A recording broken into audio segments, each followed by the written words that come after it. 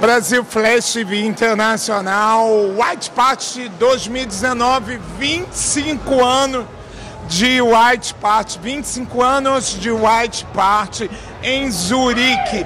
A festa é digna como a cidade de Zurique. Estamos aqui também com uma pessoa maravilhosa, com uma personalidade direto do Brasil, ator Bruno Pacheco, que vai falar dessa festa, o que ele está sentindo nessa atmosfera LGBT para vocês no mundo inteiro. Bruno, boa noite. Boa noite, como é que tá? Tudo bem? Tudo ótimo. Então tá ótimo. Olha só, a festa daqui eu já conheço a, a, o Angel, né? O grupo que faz essa festa aqui já há muitos anos. Eu trabalho inclusive com o Alex Baroni, sou residente dessa festa como DJ.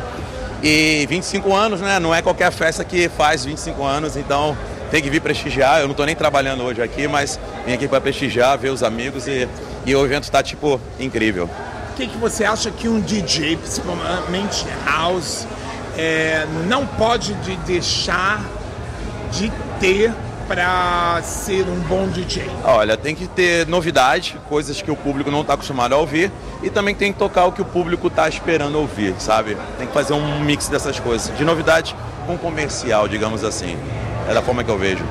Fala aí um pouquinho, um resumo do teu trabalho no Brasil. Sei que você, o povo todo te conhece, te segue. É assim, eu tenho. Muita gente. Fala aí, Bruno. É, eu tenho um trabalho como ator também. Eu já trabalhei com as melhores emissoras de televisão do Brasil, tanto Globo quanto Record. Tem a série na Netflix que eu trabalhei no ano passado, que é o mecanismo que fala sobre a, a Lava Jato. E tem uma agenda como DJ com três residências aqui na Europa, em Porto e Lisboa, e aqui na Angels Events também na Suíça. E, bom, acho que isso é um resumão que eu faço.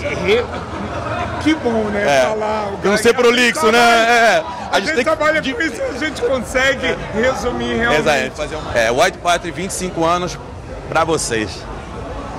Bruno Pacheco, Worldwide. Valeu, Pedro.